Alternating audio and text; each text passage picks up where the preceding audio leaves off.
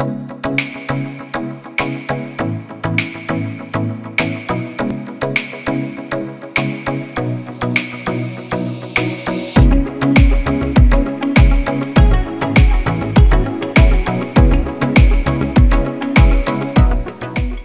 the things I wanted to talk about was you mentioned, you know, going to different stores and some of the things you see. And, you know, I would really encourage all of you who are grocers out there to do that on, on a regular basis. You probably already do, but two that I want to point out, I'm going to hit the uh, Amazon button again. And I went to the Amazon Go store up in Seattle back in 2019 when it was okay to travel and we were doing a lot of traveling.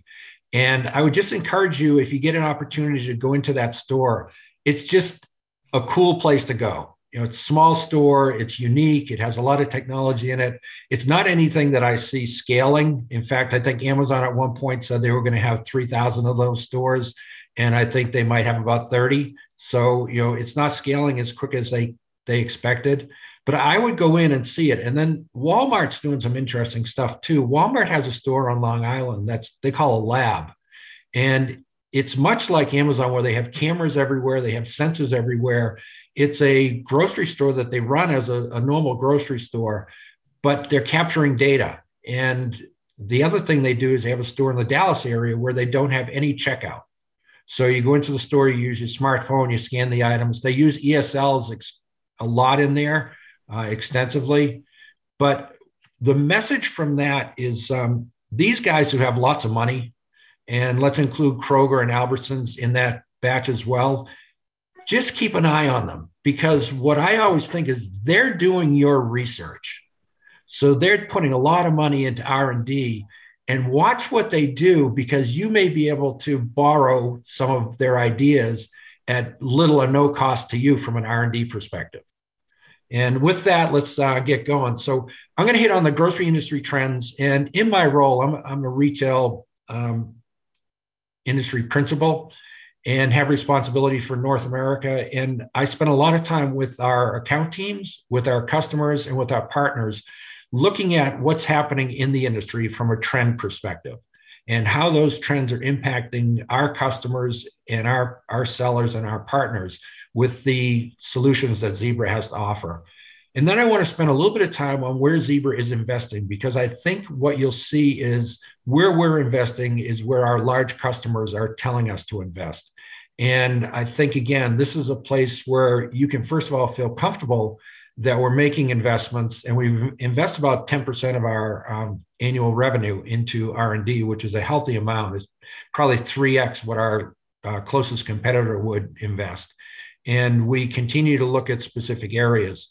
And then the other thing I'm going to look at is um, inside the grocery store, what are the big uh, initiatives? What are the use cases that are being used today to help drive um, profitability and to help drive the improvement around their operations?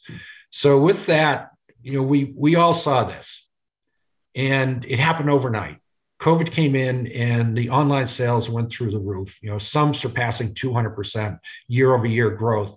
And this shows just Q1, but the trend continued throughout 2020. And right now, it can, looks like it's going to continue at least through the first quarter of 2021. Um, so the, the thing I point out about this slide is, you know, if you look at the, in, the increase, it would have been higher because if you remember back into the you know May, April, May, June timeframe of last year, there were times that you could not place an order, or there were times when you placed an order that the uh, order that you placed wasn't filled because the product wasn't there. So if everything was working, if their systems were allowing them to take orders, and if their supply chain was allowing them to get product, those numbers would have been much higher. And I think it's just important to keep that in mind because we're still in this, you know, COVID space. It's uh, different depending on where you are across North America, but COVID still exists and we're still in a, a new environment. Last summer, I saw this quote and it really resonated. And I'm not going to read it to you, but I, I think what makes a lot of sense is things have changed. They're not going back to the way that they were before as much as we might want them to. So let's plan for the future. And let's not look at what was successful back in 2018, 2019, because in some likelihood, and perhaps in all likelihood, it's not going to be successful today. So try to find new ways for success. And I would encourage all of you, especially those of you who are the small store operators or maybe small chains, look to your customers. They will be the ones who are going to tell you what to do. They'll be the ones that will give you the guidance to the future look to them, listen to them, talk to them, find out what they're looking for, and try to help them with that. And that gives you the differentiation that Luke was talking about, where something that you have that an Albertsons, a Kroger, or a Walmart doesn't have is you can move quickly. You can change very quickly, where it takes those companies a lot more time to make a change. So take advantage of that. Use your flexibility and your adaptability to you know build your business something that I think is really important for us to understand. And in in my line of work, I'll use McKinsey a lot. I'll use Gartner. I'll use Bain, all the major firms to understand what they're seeing out there in the marketplace because they have such a large um, footprint, and also because they have a big uh, seat at the table. If McKinsey goes into a company, they're going to listen because they're going to spend a lot of money to get McKinsey in there in the first place. So, what McKinsey has identified is 75% of shoppers have changed their behavior. They've tried something new. And there's a very high likelihood that those shoppers are going to continue in some way doing things differently. I read a study, I was, I was interested in finding out how long does it take to change behavior, to either get a new habit or break a, break a habit. And the University of London did a study, and they said that on average, it takes 66 days to change behavior. Well, COVID has been around well past 66 days. And I think this chart shows us that the behavior changes that our customers have made are likely to be their new behaviors. So keep that in mind as you're building your business and growing your business. All right. So we saw the chart that showed how quickly online went through the roof. Also, what went through the roof was the cost of doing business it costs more money to do online business than it costs to do traditional business. Makes perfect sense. In the traditional business, the customer comes in, they do the shopping, they do the picking, they go through the checkout, they leave. They do all the work. Online, you have associates who have to do the picking now. You have associates who have to do the uh, you know bringing out to the curbside or delivering to the customer. So it's much more expensive. So, what those large customers have done, and I'm sure many of you have done the same thing, they're looking for a way to reduce that cost. How can I drive down the cost of my online business so that it's profitable? Because today, in many cases, it's not. So they're looking at ideas like lockers.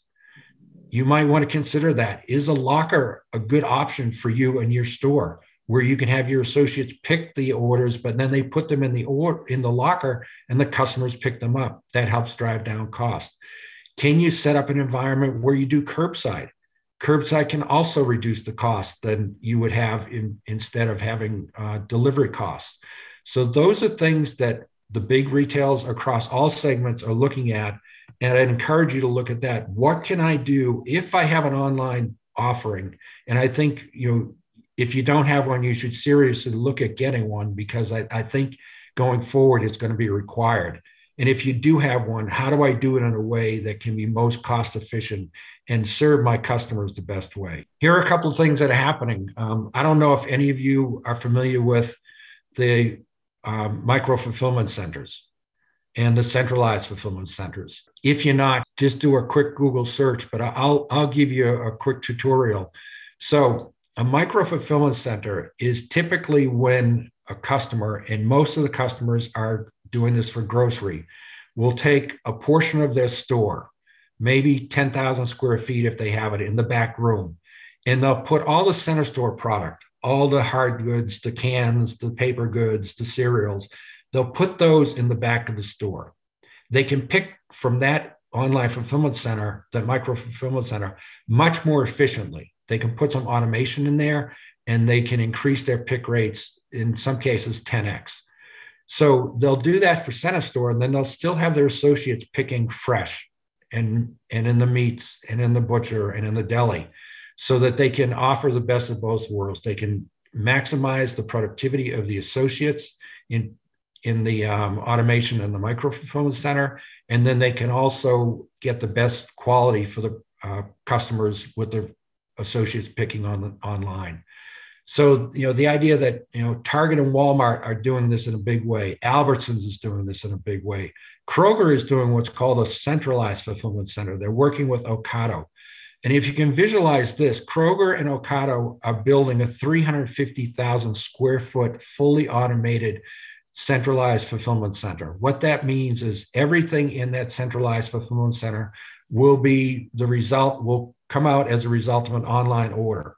Those fulfillment centers can um, service up to a 200 mile radius. So they, what Kroger's doing, which I find fascinating, is Kroger is opening one in Fredericks, Maryland.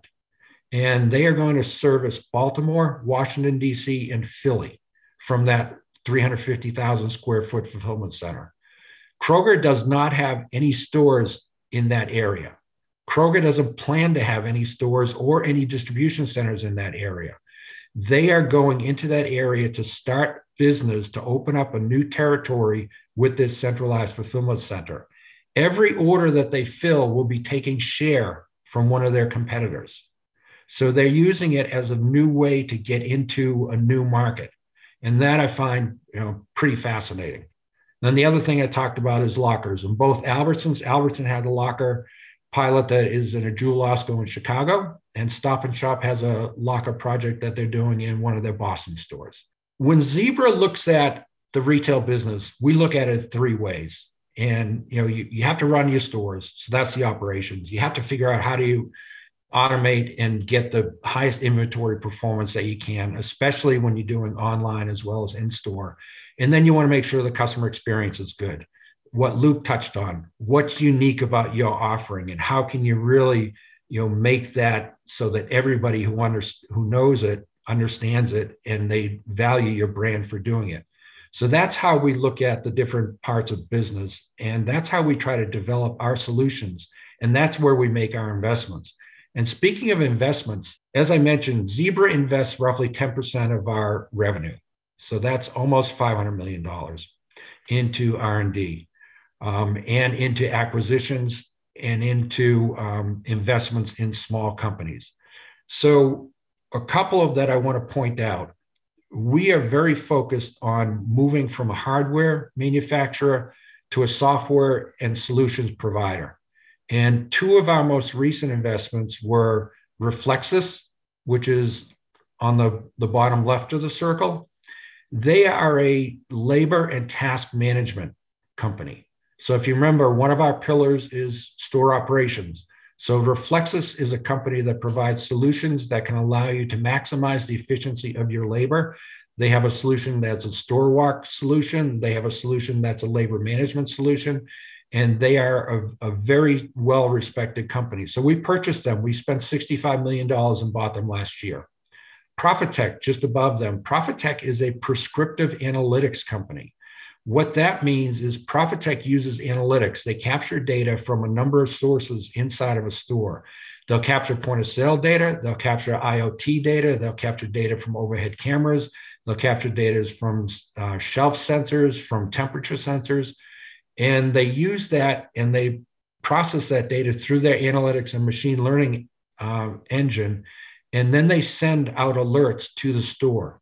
So, a good example of what they would do is let's assume that you uh, start a promotion and you have 10 stores and the promotion is running across all 10 stores.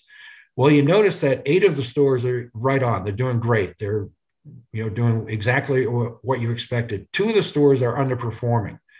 So Profitect would notice that. They would send an alert to the store manager immediately, and they would give some ideas for the store manager what act, actions they should take. You know, the first thing, if you're running a promotion, did you set the promotion up? Did you bring the product from the back room to the shelf? We know that you got a delivery. We know you have the product. So are you executing on that promotion? if you think about it, if you can execute on a promotion a day after you find out that you weren't, that can make you a lot of money and save you from having to perhaps lose some of that money, if, especially if it's a promotion with anything fresh. And then Cortexica, right across um, Profitect, they're a video analytics company. So what they do is they take pictures from any kind of a video, whether it's a camera or a sensor, and they do analytics on that. And if you look just below uh, Cortexica, we have a robot. We call it Emma. And we built Emma to go mainly in supermarkets to do three things to look at gaps in the shelf, to look at planogram compliance, and to make sure the pricing was right, to make sure the label prices were right. We're using the Cortexica Video Analytics to do that. Right above Cortexica is our MP7000, and that's actually in the um, Amazon Fresh stores. So just wanted to put a plug in for there. That's our that's our um, multi-planar scanner, so our flatbed scanner. And what we are doing with that is we're using the Cortexica Video Analytics to be able to put a camera in that so that you can do things like help identify what product is on the plate. You know, do you have avocados on the plate or do you have something else? Um, the other thing that it will do is it will help with shrink because that camera will sense if you pass a barcode across the scanner and the barcode doesn't represent what the product is, it will flag that. So you can stop somebody who might have moved a barcode from an expensive item to a less expensive item. And you can uh, reduce shrink by doing that. So that's where we're making our investments. And I just thought it would be interesting to, to share that, to show you that we continue to evolve, we continue to listen to the marketplace, and we continue to try to make sure that we're making investments in areas that are going to benefit our customers and our partners moving forward. First area that I want to talk about as far as use cases. And what I'm choosing here is the front end. The front end is always a place where retailers and grocers look for efficiencies, and they're always trying to figure out ways that they can make improvements in the front end. It's becoming even more important now. The grocery stores that I go into, half of their front end lanes are shut down because they need the spacing. They've expanded their self checkout environment because they want to have contactless. So it's changing and it's changing quicker than they expected it to change. So a few things that I want to point out on this um, this particular slide. If you look in the middle at the bottom, there's a rendering there. That is a rendering from Walmart. And again, use them as an opportunity to let them do your research. In this store, and it's a store down in the Bentonville area, they are only doing self checkout. So if you look at the rendering there, they've set it up, and this is practically, you know, this is within the last three to four months that they put this out. They've had enough spacing so that the customers can feel safe when they're in there. They have enough self checkout lanes so that they can handle the volume. So as you look at your stores, if you're thinking of reconfiguring the front end, if you're in an environment right now where perhaps you have shut down every other lane because you need this, the distance for safety, if you decide that self checkout is an option for you, and oh, by the way, our MP7000 scanner is, is the great self checkout scanner scale, consider how you might set that up. Consider how you might use the space you have to set up a self checkout environment and to do it in a way that's going to be safe for your customers and also efficient for your customers. And it's going to help you with labor. Right above that is what we call our personal shopping system. And I'm just going to touch on this because it's something that we have. It's very popular in Europe. It's gaining some popularity in the United States, although it has been slow to adapt. Um, this is where the customer takes a unit. So you see the unit that the customer is holding, and in behind there's a rack of units. The customer takes the unit and they shop with that unit. So much like Luke had the shopping cart that had all the sensors, in this case, the customer has in their hand the device where they can scan the product and put it into the cart. And in this case, it's even better than the Amazon cart because you can put it right into your grocery bag. You don't have to worry about the Amazon cart where you can't put grocery bags in there because the sensors can't see through the grocery bags. So you can put the item right into the grocery bag. And then when you get done with your shopping, the bags are already packed. You bring them out, put them in your car. You can, you know, arrange them in a way so that when you get home, they can be unpacked in a proper way for safe and easy unpacking. Mobile checkout in the bottom right, that's something that we do with many of our customers. We have a, a point of a, a, personal device, much like a smartphone. It's a, um, a TC5X device, is what we call it. It has a touch screen, it has a scanner, it has the ability to put a um, reader, point of sale, or a mobile checkout reader on there, and you can do the, the mobile checkout either inside the store or outside the store. So um, those are just a few things that I, I, wanted to point out. The, the top right is a, a partner we work with on curbside, where what they're doing is they're alerting the store when the customer gets closer to the store so that you can make sure that you have the packages ready when they get to the get to your location and get into your parking lot. Moving from there, here's the MP7000. So just a quick view of what it's doing. Um, you know, as, as I mentioned, we featured it, and in that case, the um, last last uh, peanut butter went through and it was the wrong price, so they've alerted somebody. So again, it's a uh, multi-planar scanner, high performance, and it's getting tremendous um, interest across many of our customers, not just grocery, but many other customers as well. And then I mentioned Reflexis and the fact that they're a, um, a labor management. So this is what a Reflexis screen would look like on one of our TC52s. So you can see that you know the screen is nice, it's easy to read. What it's doing, it's directing the store associate across the store to do tasks based on the priority of those tasks. And this is something that can be dynamic. So as the tasks change, you can change the uh, configuration of the tasks so that you know when that started that associate started the day, maybe he had five tasks and now maybe he has six or seven, and you've moved task five to task one. So you have the ability to really maximize the productivity of the store associate when they're in the store and you can have them if they have to do audits you can make sure that when they do the audit for, in perhaps it's they're responsible for cleaning the bathroom so when they finish cleaning the bathroom they acknowledge that they've done that and you have that recorded with a timestamp so again improving the productivity of the store associate as they work in your stores again here's the app that uses the geolocating or geofencing to identify when the customer is approaching your store so that if you're doing curbside, you know when they get there. All of you can probably appreciate it wasn't too long ago that when you trained a cashier, what you told that cashier is you're the last person that our customers are going to interact with. Be courteous, be friendly, smile, and make sure you get everything right because that's the last face and we want it to be positive. Well, that's moved to the parking lot now. So the same idea give your associates the tools so that when they go out, they're making a very good last impression for the customer who's picking up their groceries. Mobile print. This is something that I think you should really consider if you're not doing it. The idea that rather than printing the barcodes in the back room and the labels in the back room or getting them from a service bureau, just have an associate with a mobile device and a mobile printer they can go to the um, to the shelf edge they can scan and then they can make the replacement right there it's a great labor savings and it's also a great savings in media costs and in you know if you if you're paying a service bureau and paying them and the idea that you're going to get all the right labels at the right time voice is becoming really important we're starting to see across all segments of retail and i'm using Lowe's in this case because they were one of our early voice adopters. And it, it's really ironic because Lowe's moved from Apple devices to our devices. One of the reasons they moved off the Apple devices, they were using iPhones, is because they couldn't talk.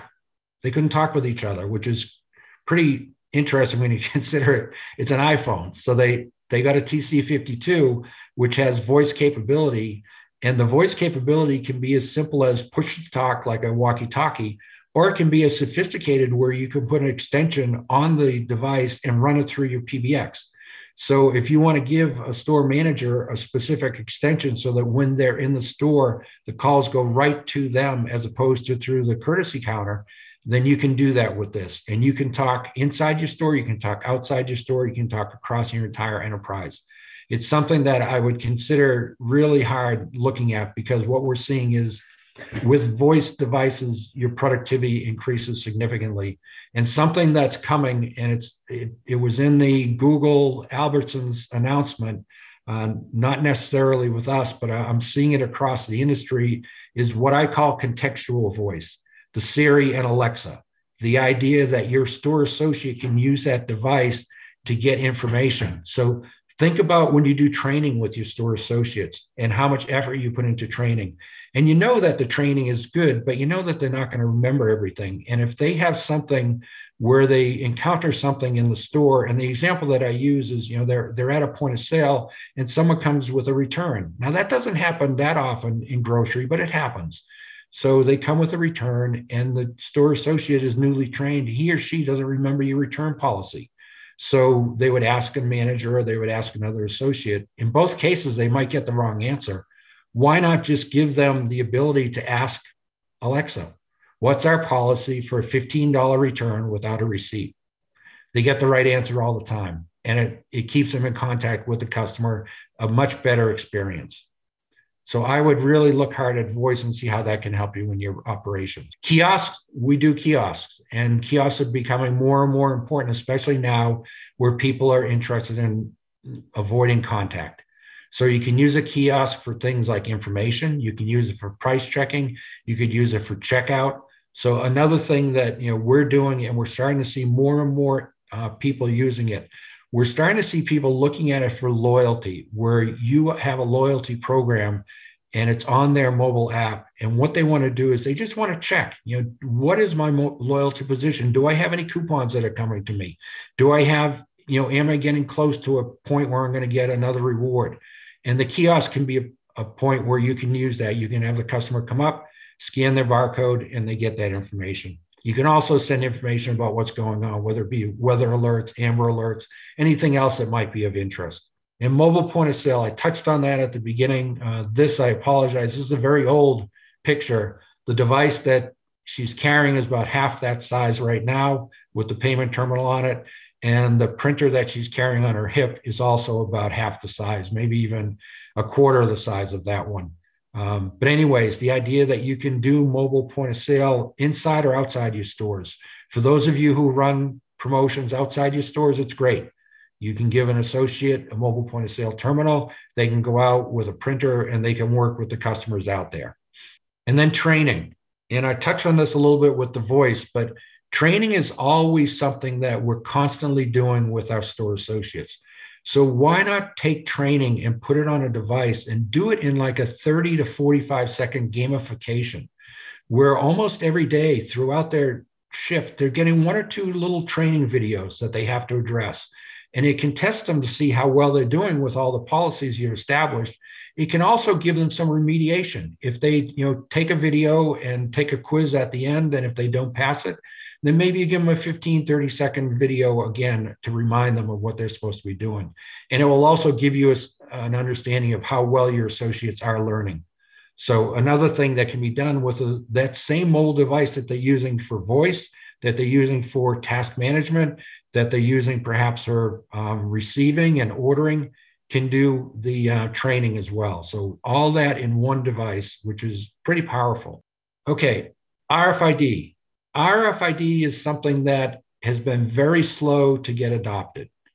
And when it was first announced, I think more than 20 years ago now, the idea was that everything in the store would have RFID tags. Well, grocery has been one of the last um, areas to really take advantage of RFID with good reason. It doesn't make sense to put RFID tags on cans of peas or cans of soup. Doesn't make sense to put RFID tags on paper goods. Um, but it does make sense to put RFID tags on prepared food and fresh food. And we're starting to see some of the major grocers doing this, especially with their prepared food, so that they can put an RFID tag on there and they will know when that food is coming close to expiration. So they'll rotate the stock. And the other thing that they can do is once they get inside a certain amount of time, they can reduce the price. So, what's happened is by doing this, they have eliminated a lot of waste. A lot of the shrink that they had through waste that they just threw out because they had an expiration date has been eliminated. And now they're selling that product at full price, or at worst, they're selling it at a, a percent off, but they're still maintaining sales as opposed to throwing that product out. And I know that as grocers, we hate to throw fresh food out because it's something that, first of all, the margins are usually pretty good. and it just seems like you know just a complete waste. So RFID tags could be used to help you with the rotation of the food in your fresh food and in your prepared food area. And that was it. I I thank you for for joining. I hope you found it interesting.